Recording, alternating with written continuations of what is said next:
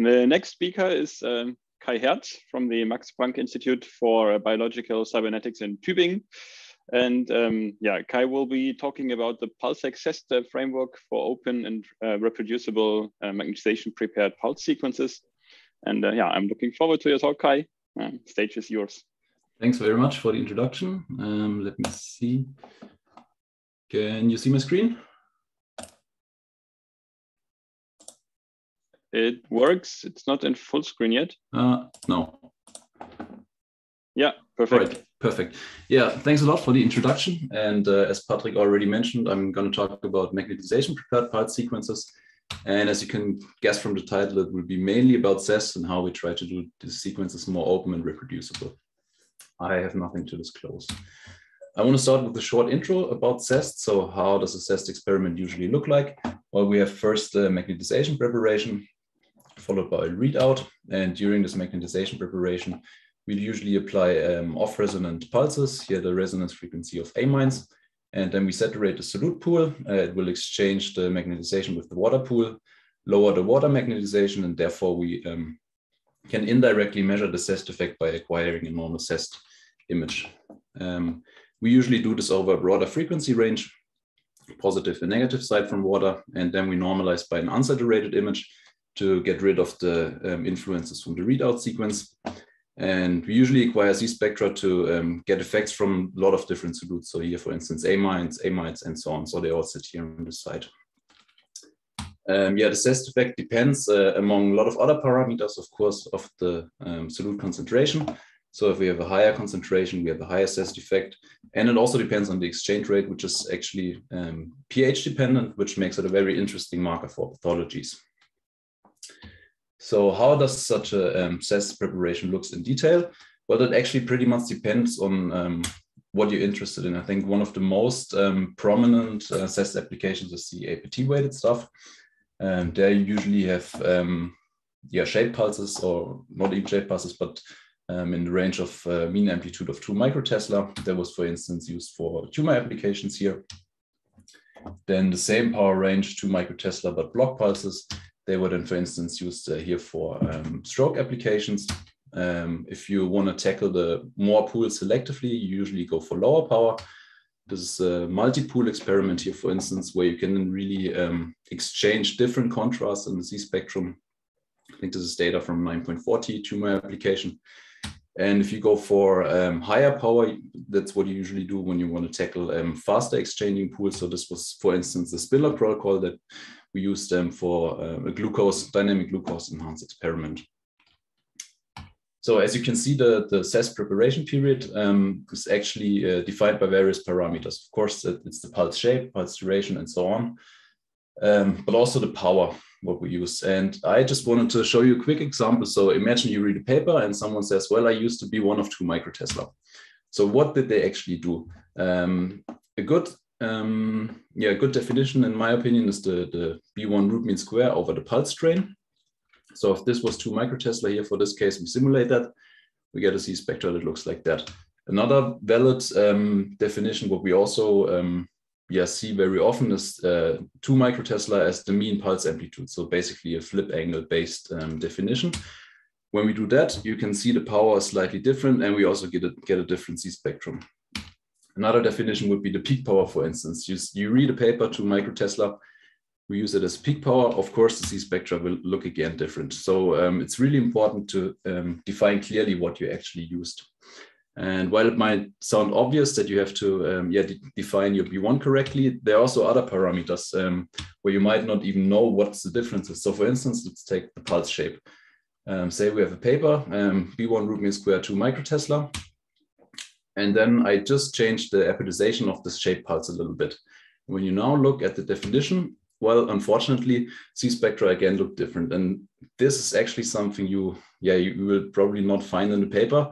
Uh, in the worst case, you don't even know about it because the shape is somewhere hidden in, in the vendor um, library.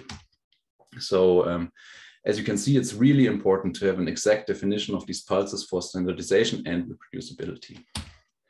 And in the best case, such, such a um, definition would be in an open file format. And the requirements for such a format would be that it's of course easy to create, interpret, and share. it should be easy to simulate and of course easy to scan. And what I want to show you is how we try to achieve that with, with the Pulseq framework. So how is it easy to create? Well, it's based on Pulseq. Um, I won't tell you that much about Pulseq, just that I think it makes your life much easier and that you should not forget to attend the Pulseq sessions later on. Um, but just quick, so you can define your sequences um, directly with an open source MATLAB or Python code. So here, for instance, our saturation pulse from before, we make a sinc pulse with the flip angle, with the pulse duration, and with the apodization parameter for the shape. There are also a lot of other shape parameters. And then we add that pulse in an object-oriented way to our sequence object. This sequence events are then um, yeah, added to this object, and then we write it in a readable text file. So you can see here just a caption of the of, the, of such a Pulseq file. Um, you have RF events, gradients, ADC, etc. So this is, in my opinion, easy to share and compare because you can open it with a simple text editor. And what the nice thing is, also since it's really text-based, we even have the possibility for version control protocols. And the parameters are inherently completely defined since the shape is written in the text file. So when we plot such a Pulseq file, you can see the shape here. This is really defined. You cannot change it on the scanner later on because it's written in the text file. And what is also very nice, in my opinion, is that we can see the, the phase evolution of the, the pulse train um, because it's also written in a text file. And this is also a parameter which is usually never um, stated in any paper, although it can actually make a big difference if you start your pulse with a phase of zero or if you accumulate the phase over the pulse train. And yeah, if you have um, more, more complicated pulses, such as spin lock here, for instance, um, you can see the phase evolution due to the frequency sweep. Um, yeah, if that's written in a text file, really you just share the text file. You don't have to um, copy the, the formula someone wrote in the paper and try to create a pulse by yourself. You just share the text file. So that's really reproducible, in my opinion. So how is it easy to simulate? Well, we provide an open source Bloch McConnell simulation framework. Um, you can find that on GitHub if you're interested. It's basically a C++ application um, that is callable from MATLAB via mex files. Um, we choose those languages for two reasons. First of all, the C++ application, because then we can use the exact same Pulseq file interface as on the scanner. So um, we really make sure that we read the same thing in our simulation that the scanner reads. And we can get all the MATLAB functionality from the original Pulseq package, which is of course also nice. Um, for the simulation, we also have a text file-based input for the simulation parameters, such as water T1, T2, and the CEST pool info, field strength, etc. And again, since this is text-based, we also can have version control simulation settings, which I think is nice. And in fact, we, we have an open database available where we um, collect Pulseq files and parameter settings. I will talk about that later a little bit. Um, if you cannot or want not uh, use MATLAB, there are also alternatives for Python users. There's a wrapper who calls, which calls the exact same C++ simulation code actually from, from Python. Or if you don't like C at all, there's also a pure Python application. So as a last step, how is it easy to scan? Um, well, at least for Siemens IDEA, we have an interpreter sequence building block available. Um, and we use it the following way. So basically the Pulseq file is then played out as a preparation, as you can see here in the plot. We have here a short uh, capture of the Pulseq file. So we have our RF events here, um, uh, delays between the pulses. So this is our preparation.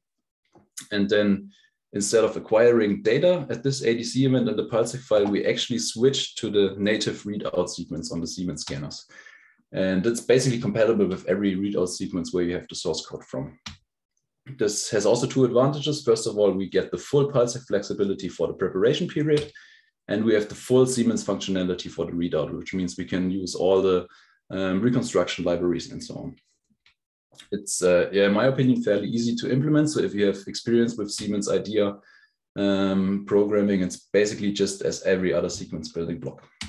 And it's also available um, as a C2P package with a gradient echo readout. In fact, we just delivered recently the first version to an external partner. Right now, after showing you some methods, I wanted to um, quickly show some, some applications for what did we use the framework so far. Um, one application where it fits very well, in my opinion, is uh, CEST MR fingerprinting. So as you might have noticed by now, the CEST contrast depends on the preparation period, um, which means if we vary the preparation period, we can generate unique signal trajectories for different CEST parameters. Now these signal trajectories um, can then be simulated using our open source um, Bloch-McConnell simulation framework. And then we can acquire the same data and do a dictionary matching. So um, this is, for instance, the plot of the sequence that we used in vivo. Um, here, um, this is a spin lock preparation, and we just varied the um, B1, so the power of the pulses um, for for the for uh, for the repetition. So that's just part of that. Um, here's data. There was actually another protocol, not this one, but the phantom data, where you can really see when you have here is a solute pool, you can really quantify the exchange rate and the concentration. And I think this is actually a very good fit for, for this framework because now we can uh, start from the Pulseq file. We can use that in our simulation.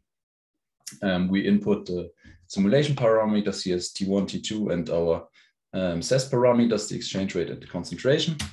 And then we generate a lot of trajectories, so huge dictionary. And now the nice thing is instead of taking the pulses from our simulation and try to implement them on the scanner, we really just measure the, the exact same Pulseq file. So there's uh, we cannot do any mistakes here by by copying the pulses from the simulation to the scanner. We just measure the exact same thing that we're simulating. And then we get volumes. Um, they have a different contrast because we vary the saturation power. And we can do a voxel-wise dictionary matching. Uh, yeah, this is actually data from from Orr Perlman from from Boston. So basically, what uh, what we did there is um, we have an uh, magnetization transfer sensitive um, trajectory. And we trained a neural network with, with a huge dictionary that's just based on simulated data. And then we did the same for an amide uh, sensitive trajectory, also trained a neural network. And then with uh, T1, T2, and also field maps as input and the Pulseq um, CEST sequence, um, the, the trajectories for MT and, and amide specific sequences, they get there as an input. And then we actually can generate quantitative maps of concentration and exchange rate. And we actually tested that on three different sites with the same sequence um, at two Prisma scanners in Tübingen and Boston, and actually a, a, Trio scanner, which even had a different software baseline. So I think this was VE and this was uh, VB. And if you're interested in how to generate such dictionaries and also how to do that uh, dictionary mapping, uh, Orr Perlman has actually a very nice GitHub repository with a lot of explanations and code, so feel free to try that out. Another application what I find important is uh, standardization. Um, so as I mentioned before, we have an open database, which has a collection of Pulseq files and CEST preparation periods.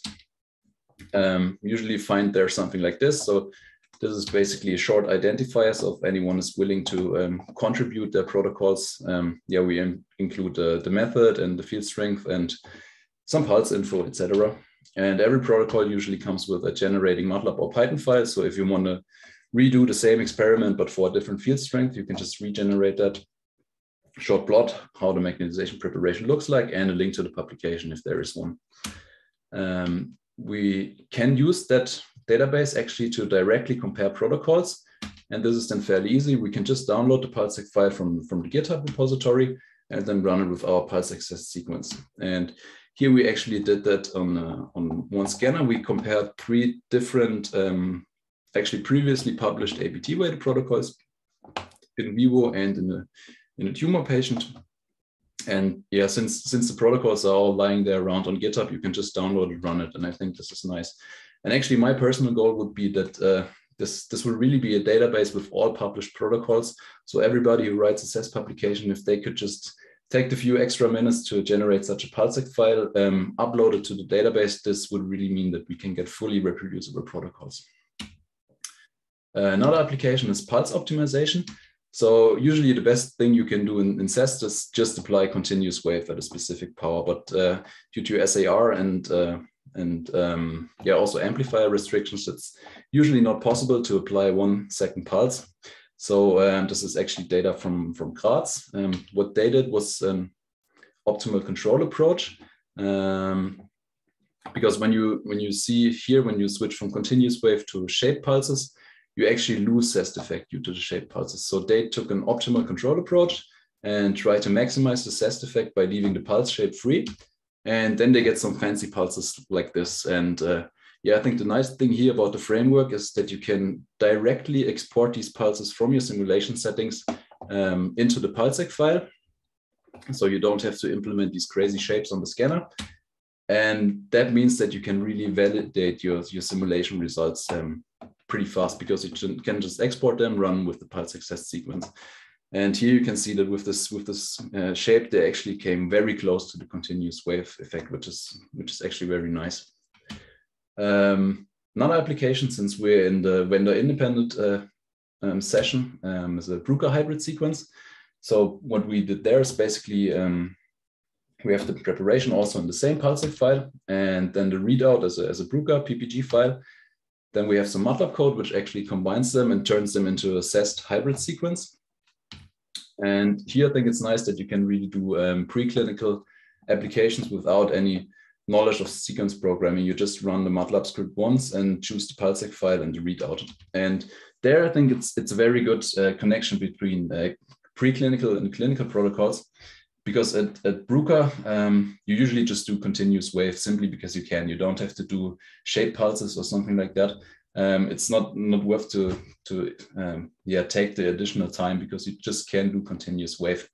But when this is also an easy approach, it's easier to um, actually translate um, preclinical to clinical protocols because you can implement shape pulses that would also work on a human scanner. And actually, we tested then the three APT weighted protocols that I just showed you in the, on the previous slide in vivo, um, here in the Phantom at, at 14T. And this MATLAB code is actually also available open source. There's a big uh, work in progress bracket before. Um, you can find it here. I think that's also now the last GitHub link I have in my talk.